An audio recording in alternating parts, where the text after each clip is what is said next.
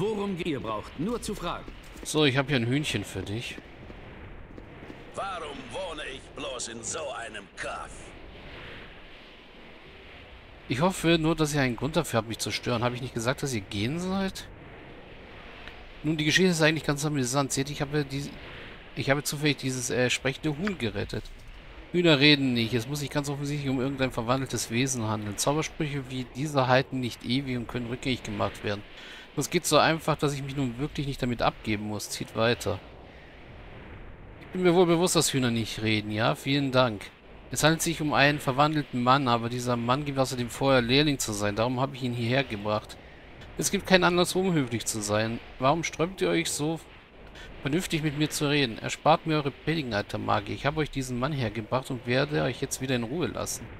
Nehmen wir mal das erste. Lehrling, ich hatte... Ich habe und hatte keinen Lehrling. Ich bringe niemandem bei, was ich... Wartet, Millikamp. Millikamp bist du es. Ja, Meister Talantier, das Gack bin ich. Ich bin nicht dein Meister, du bist nicht mein Lehrling. Es ist recht unverschämt von dir, von mir Hilfe zu erwarten. Wie ich sehe, seid ihr gute Bekannte. Dann werde ich euch jetzt wohl alleine lassen. Lebt wohl. Er ist nicht euer Schüler, aber dann kennt ihr ihn doch, oder etwa nicht? Ein Schüler möchte lernen, den Dumpfkopf da verlangt es hingegen nur nach Wissen. Ich betreue niemanden, der nicht die Auswirkungen dessen begreift, was ich ihm beizubringen habe. Da ich nicht bereit war, die schnelle Befriedigung seines Wunsches zu bieten, hat er mich einfach bestohlen. Ihr redet vom vielen und zeigt so wenig. Ich wollte doch bloß gar keinen Bruchteil der Zauberkräfte lernen, die ihr besitzt. Es hat mich mehr als 50 Jahre meines Lebens gekostet, diese Kräfte zu erwerben und den Willen, sie nicht einzusetzen. Du bist dagegen nur ein Kleinkind. Offen gesagt, es überrascht mich, dass du dich in ein altes Huhn verwandelt hast. Wie ist dir das nur gelungen? Als ich dich das letzte Mal gesehen habe, hast du noch die simpelsten Sprüchlein durcheinander gebracht. Ich habe seither große Fortschritte gemacht und habe mir ein paar Dinge ausgeborgt, um den Vorgang zu beschleunigen. Das dachte ich mir. Wie man sieht, kannst du zwar meine Hilfsmittel stehlen, aber das Wissen, wie mit ihnen umzugehen ist, das kannst du mir nicht nehmen. Steh still, damit ich dich von diesem lächerlichen Aussehen befreien kann. Ich werde wohl kaum mein Eigentum zurückerhalten, solange es verwandelt herum Moment mal. Ich habe ja überhaupt nichts besessen, mit dem man eine solche Verzauberung hätte bewerkstelligen können. Moment, meine Güte. Melikampf, was hast du genommen? Nichts wirklich Wertvolles, ich schwör's. Bloß ein paar Zutaten, einige Schriftrollen, ein paar abgetragene Armschützer, ein leeres Zauberbuch, etwas Pergament. Ein paar, oh nein, du Idiot, die Armschützer in meinem verschlossenen und versteckten Safe? Ich kann nur hoffen, dass die Hühnerfutter schmeckt, denn du wirst so lange so bleiben müssen, denn du wirst sehr lange so bleiben müssen, wie du jetzt bist. Ich weiß, ich habe euch bestohlen, aber ihr könnt doch nicht gar zulassen, dass ich so bleibe. Bitte, Meister Talantier, bitte. Es geht nicht darum, ob ich dir helfen möchte oder nicht. Das Problem ist, dass ich einfach nicht die Macht besitze, das rückgängig zu machen, was du getan hast. Äh Kann man da gar nichts machen? Wir helfen gerne, wenn es irgendwie geht. Ich glaube, der Preis für unsere Hilfe ist gerade gestiegen. Was, Talantier? Das war wirklich eine traurige Geschichte, aber wir haben unseren Beitrag dazu bereits geleistet. Viel Glück auf euch beiden, auf Wiedersehen. Hm, sind wir mal... Oder welche Art von Gegenstand kann einem Magier wie euch so viel Kopfschmerz bereiten? Nehmen wir mal die zwei. Für diese Sache werdet ihr von mir nicht eine Münze sehen. Ich werde mein Geld doch nicht Abenteuer in den Rachen werfen. Jetzt muss ich... Jetzt muss ich... Jetzt, jeder muss sich um sich selber kümmern. Wenn euch dieser durch eine, seine Hühnergestalt gepeinigte Kerl sein Geld geben möchte, bitte sehr. Ich glaube aber kaum, dass er mehr hat als das, was er mir gestohlen hat. Äh, nein, in dem Fall gibt es keine Belohnung, ist für uns der Fall erledigt. Lebt wohl. Ich hätte es genauso gut auch mit euch beiden aufnehmen können, aber ich werde mich mit dem einen begnügen, der geht. Für diesen unglücklichen Namen werde ich das Mindeste tun.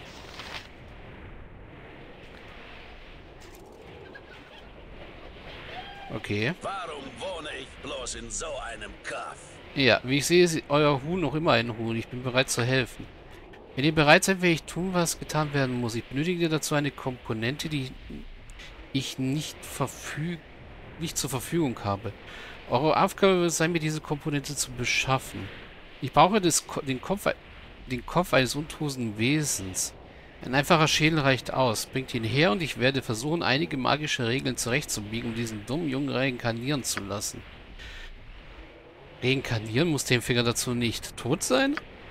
Ja, das stimmt. Da muss ein totes Element im Spiel sein. Dafür benötigen wir den Schädel.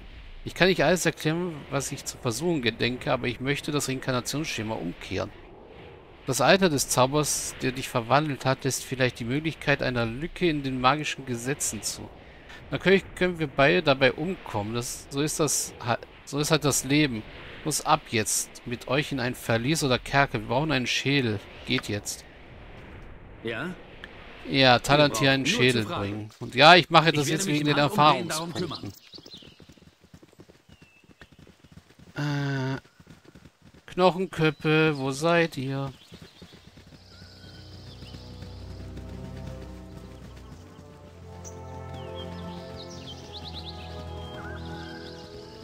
Komm zu Papa.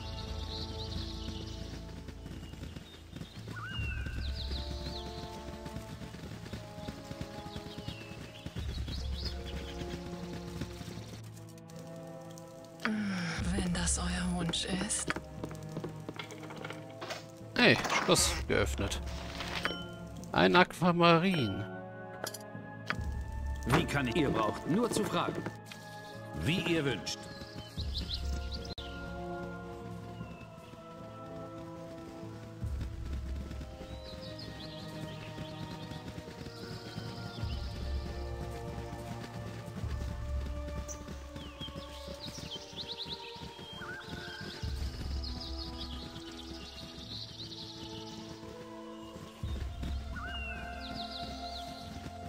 Hallo. Skelette.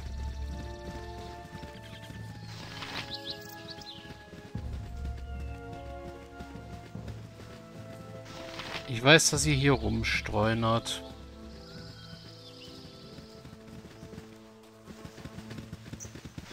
Ah, Kivan steht immer noch hier rum.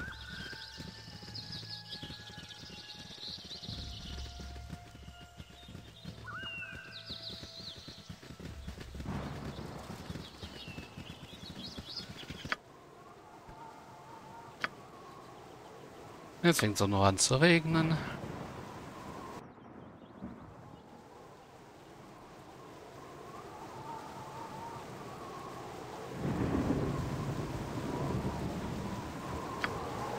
Ah, Bingo. Noch ein Göppe.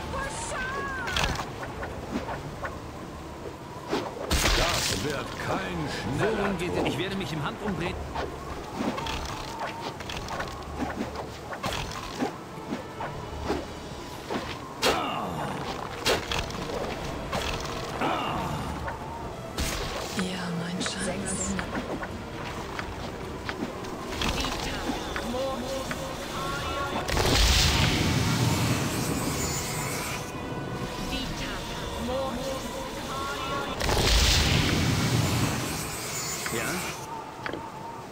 So, ein Knochenkopf Wie, mitgenommen. Ich werde mich im Handumdrehen darum kümmern.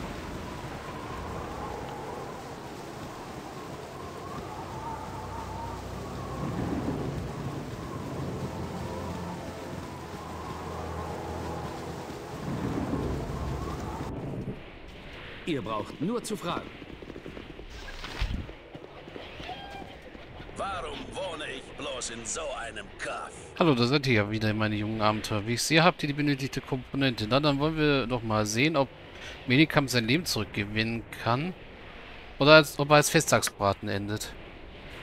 Io vocio te. Und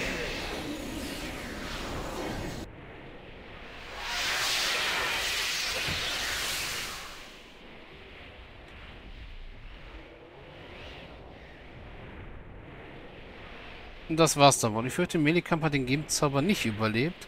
Und auch ich fühle mich ein wenig angegriffen. So ist das halt mit der Magie. Immer unvorhersehbar. Ihr müsst euch nicht verantwortlich fühlen für seinen Tod. Mehr konnten wir nicht tun. Sein Körper hat einfach eine nochmalige Verwandlung nicht ausgehalten. Das sollte den Rest von uns wohl eine Lehre sein. Passt bloß auf, dass ihr gefundene Gegenstände auch wirklich mit Respekt behandelt. Wenn ihr mich jetzt entschuldigen wollt, ich muss mich... Ich muss an die Arbeit. Ich schätze, ihr werdet es schon wieder auf irgendeinem Verlies abgesehen haben. Ich wünsche euch Intelligenz, denn das Glück ist vergänglich. Äh. Und das hat uns jetzt was gebracht?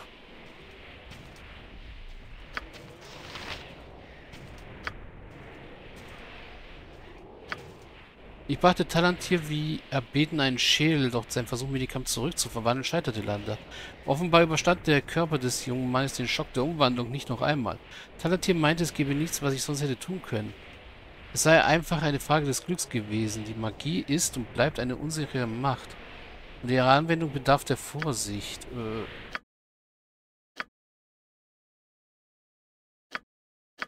Äh ja. Gut. Ich glaube, das hatte ich auch noch nie, dass das Hühnchen gehühnchent wurde. Ihr braucht nur zu fragen. Oh, Kampfhund. Hunde. Das wird kein schneller Tod.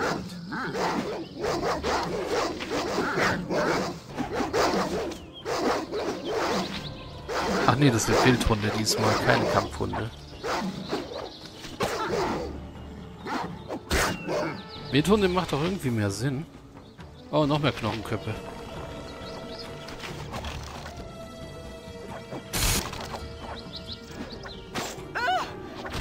Alles wegen des lieben Geldes. Ja, Vikonia kriegt ein paar ab. Worum geht? Ich werde mich im Handumdrehen darum kümmern.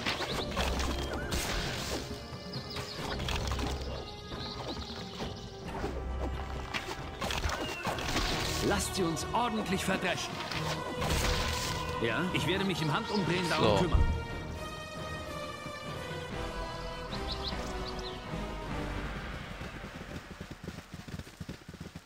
Das heißt, jetzt geht es erstmal nach Naschkel. Und dann nach da drüben. Ich werde mich im Handumdrehen darum kümmern.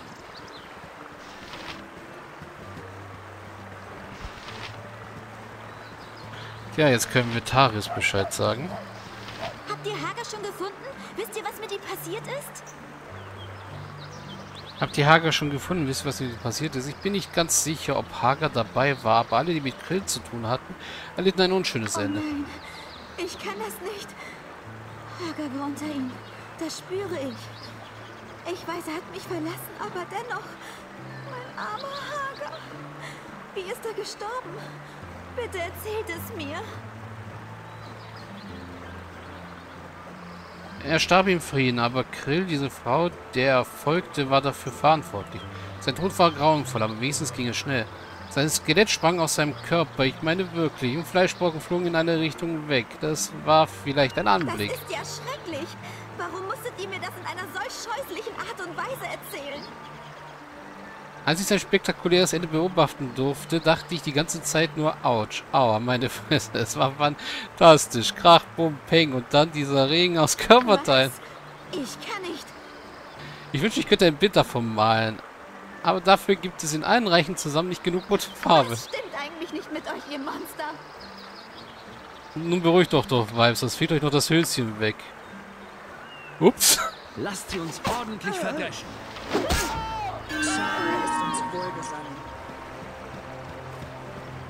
Ich... So kann man den Ruf auch verschlechtern. Wie kann ich helfen? Ihr braucht nur zu Aber fragen. das war jetzt gerade einfach geil. Das war jetzt Ich wirklich, werde mich im wirklich geil. Ich musste es einfach mal ausprobieren.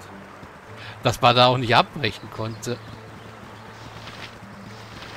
Habt ihr Hager schon gefunden? Ja. Oh nein, ich kann das nicht. Sein Tod...